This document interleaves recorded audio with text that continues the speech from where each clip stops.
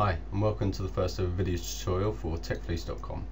Uh, in this tutorial what we're going to do is basically have a quick walkthrough on how to batch convert RAW files from your digital camera to JPEG. Uh, software we're going to be using is Photoshop CS6 although the process is exactly the same in CS3, 4 and 5.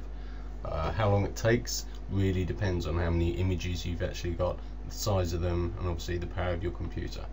Okay, so let's make a start and open up Photoshop.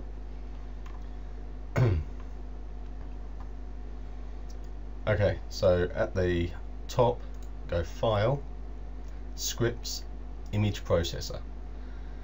Okay, so let's start at the top. Now select your folder. Now preferably you've obviously got them all tucked away somewhere on the desktop, hopefully, so easy to find. So select your folder, desktop, and here's mine, WAR files hit OK. Okay, so now you're going to figure out where you actually want to save them to. Um, you can obviously select a, you know, a spare folder, uh, say GG or whatever. Uh, but for myself, I don't want to do that. I'm going to keep them in exactly the same location, so I don't actually lose them. Uh, as for the file type, obviously this is for JPEG. You can save them as PSD or TIFF files if you like.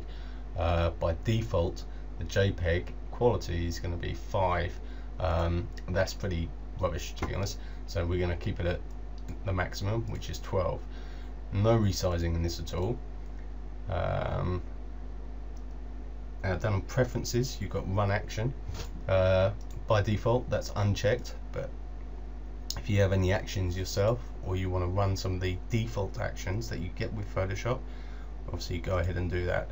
For myself not going to be doing that. Okay so we're pretty much ready to go. Uh, now you just hit run. And that's it. The images uh, were taken in my hometown of Lewes, which is in the UK uh, about I think it was about six in the morning.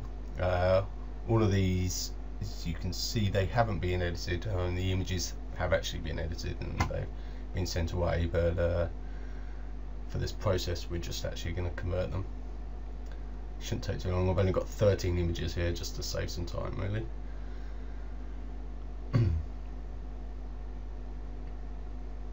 okay, so there, it's done. Right, let's close out of Photoshop. Bring the images over. Okay, so as you can see, these are all the raw files that I actually converted, and it's created a separate folder for JPEGs. So let's open that up, take a little look. Yeah, it seems fine that's it. Okay so well I hope you enjoyed this tutorial and uh, I will be creating another one for actions as someone asked me that on my site before. Um, uh, but I'll post that obviously sometime in the future. Okay until then thanks for watching. Bye